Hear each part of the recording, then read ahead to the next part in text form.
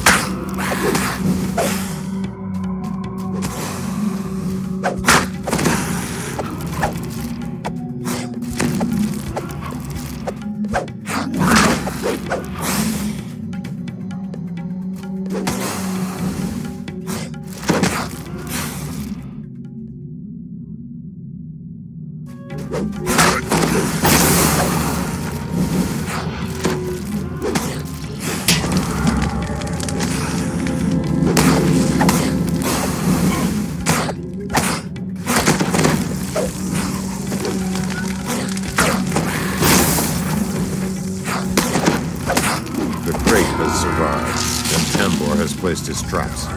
No more kobolds should be able to find their way into the warehouse.